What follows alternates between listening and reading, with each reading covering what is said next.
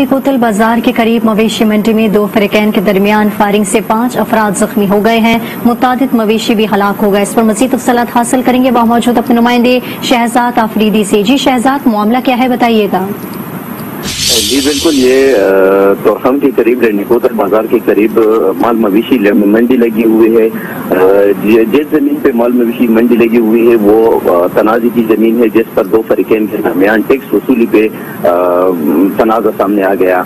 जिसमें भी फायरिंग की गई, फायरिंग में पाँच अफराद जख्मी हो गए, पाँच में से एक अस्पताल में दम तोड़ गया। इस दौरान माल मवेशी भी हलाक हो चुके हैं। एक शख्स को पुलिस ने गिरफ़्तार किया है और अभी पुलिस मजीद तफ्तीश कर रहे हैं। बहुत शुक्रिया शहजाद आफरीदी।